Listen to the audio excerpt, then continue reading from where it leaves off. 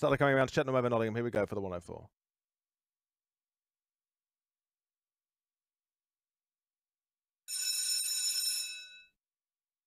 Everything.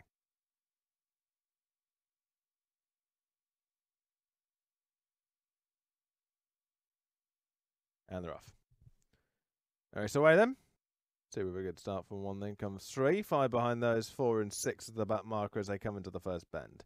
And out in front, the one dog leads from two in second, and then comes five, and behind these six, and they're followed by three, and four is the back marker as they're about to begin the turn for home now, and it's still one out in front. This is She's a Mariner, but the favourite two is getting a little bit closer, and then behind these is six, five, four, and three. They make their way up towards the line, two in front, and two is going to go on to win it. To the winner, tight for second between five and six. For trap two, Francos Caz home in front.